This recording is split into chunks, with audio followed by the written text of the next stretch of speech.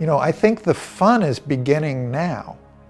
You know, in the beginning of the last century, there were two incredibly revolutionary discoveries made about the nature of the universe relativity and quantum mechanics.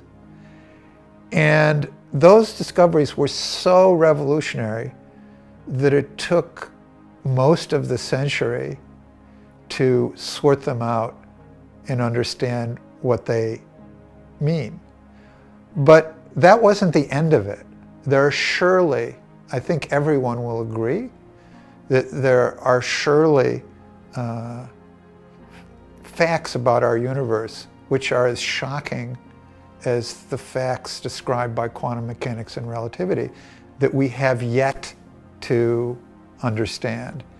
And I think that the era that we're entering now, now that we've done the business of, we found the Higgs boson, we cleaned up the standard model, um, we're looking up at the sky and um, you know, we're really beginning to able to study it with incredible precision and see back to, you know, uh, eras when uh, the universe was quantum in nature and, and many exciting things predict a future expanding period of the universe dominated by uh, dark matter. So there are many exciting things um, that we're sure we don't understand. That's what we know for sure.